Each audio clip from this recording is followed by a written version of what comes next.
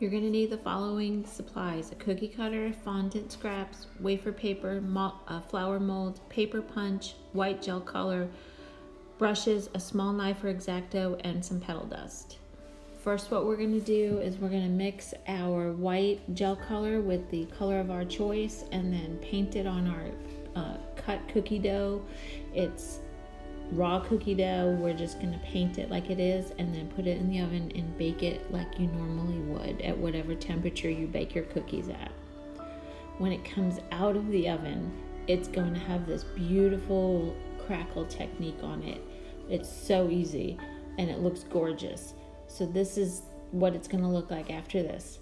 Then our next step is we're to add a little bit of a fondant rope and all I do is I roll this out into a snake, roll it really thin, roll it about twice as wide as your cookie, bring the ends together and then twist. You're going to twist both ends in opposite directions. So one end you'll push and one end you'll pull away from you.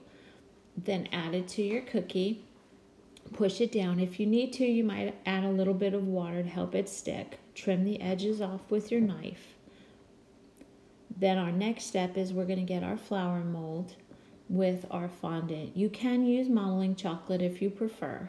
Um, we're just going to push that in there, make sure it's good and firm inside of our, our mold, and then unmold it to make our flower. Now when you take it out, be careful you don't squish your flower petals. In the original cookie, I uh, piped the stem with some royal icing, but for this purpose, I, I didn't do that.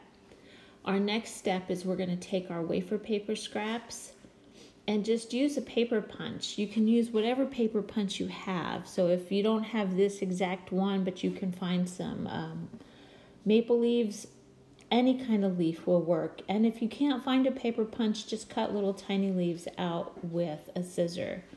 And then what you're going to do is you're going to add um, a tiny bit of water to a paintbrush, and then you can add these um, wafer paper leaves onto your cookie with just a tiny bit of water. Um, if you prefer, you can use a little tiny dot of royal icing if you have it handy, but I'm just attaching these with water for right now.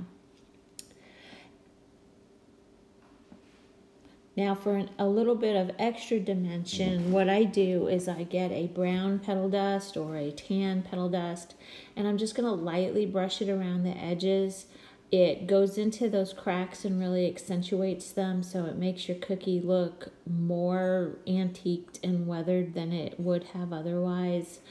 And that's pretty much all there is to it guys. This technique works really great to do a rust anything rustic. So have some fun and make sure you post what you create. Thanks for watching. Bye